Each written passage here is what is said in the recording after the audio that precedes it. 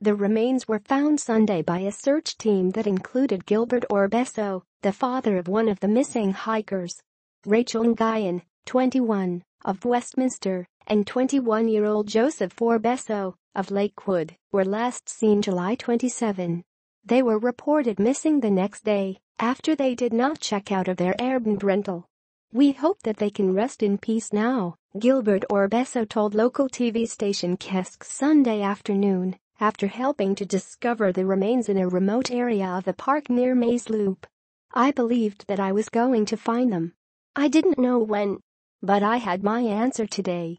Sheriff's officials tried to recover the remains Sunday, but due to darkness, the effort was suspended until Monday morning. Once recovered, the remains will be sent to the San Bernardino County Coroner's Office to be positively identified.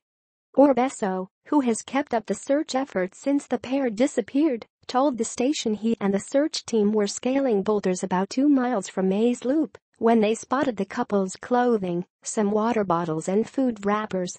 The crew followed the trail and saw the remains of two people, the bodies embracing each other. Orbeso said he had a sense of relief that we have found them after going a long time on these hikes. I feel that we have closure, he said. And we know we found them. That was our main goal was to find them.